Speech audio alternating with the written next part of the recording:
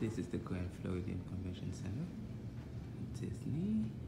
I want to document this artwork here. So let's see if I can do it in one shot here. Uh, this is like a mini gallery in each of the hotels because those arts are beautiful, well crafted, very nice. I can't read the artist name, but very nice. You can check it out. That's one. Continue down the hallway. There is another painting which is right about here. It's the hotel itself. Like it's the design of the hotel, the Floridian, and then there's a beach and there's the theme. A lot of those places, a lot of the artwork here have the same theme, same things on them. So this video is pretty cool. So let's see if we what's if the artist name is in here. I can really tell. Oh yeah, Stephanie Taylor.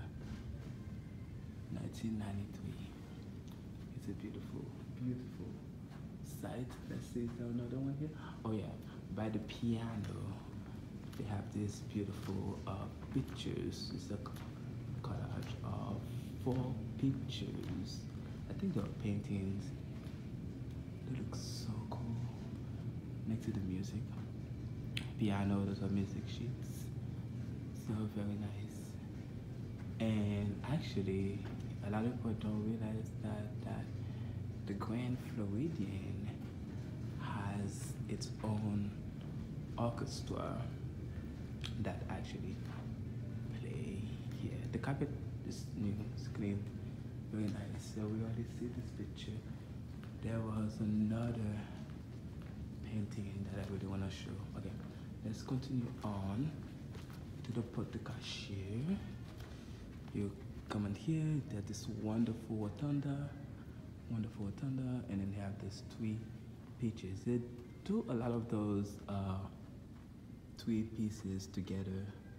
So this is pretty cool. How the glass is reflecting and it's yeah, so that's a pretty cool. So I guess that should be a beach. That's a painting. Can I see the artist's name? Can I see the artist's name? That's another beautiful painting. It's like it's just I know, it's like you can spend so much time here in this Disney resort and check out this mirror on top.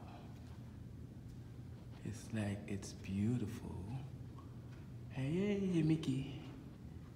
Very nice, very beautiful. Very palm tree looking. Florida, age kind of thing. So, very nice. Very nice. And then we come across here. There's another. Uh, it's a typical painting you see on hotels. I don't really like this one very much. But this is really cool. This is beautiful. It's like it's the whole hotel in the background, the the um the yard, the flower, the plants, the grass is really cool, very nice. And then if we continue down, I think that was the inside the ballrooms have some beautiful painting. Again, these are the same thing, collage of one, two, three, one, two, three, and stuff like that. They used to have like uh, some very uh, one, two, three. The, the hotel itself has beautiful painting, but the convention center, I don't. No, I don't really like. Well, it's really good. I'm in Florida. There's there's a lot of beaches, so um, but you know, because the names are Harbor, Grand Harbor, St. Augustine, so theme after Florida. So that's pretty cool. And then here, that's it. That's my very first documenting of Disney art inside the convention center. What I do want to do is go to the hotels because people come to Disney and they get tired and things like that after spending weeks on. I know people from overseas, the United Kingdom, Europe in general, they would come spend like a whole two weeks here. There's so much they can do after they get tired with all the parks or to Universal. But if you do a hotel hops, it's like a museum because you can check so many different paintings, beautiful artworks, that and all of the paintings. So I hope you enjoy it. This is the convention center. Let's see, because there was a, I think it's in this one. Let's see if it's open. It's not open.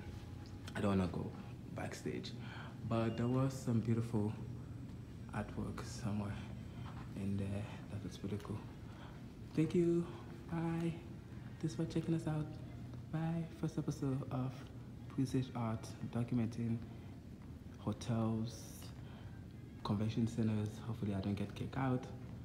And which will be display the beautiful showcase and all those sites we have in Central Florida. So that should be a fun project uh, for me for the next, I don't know, three months. Thank you. Hope you enjoy. Bye.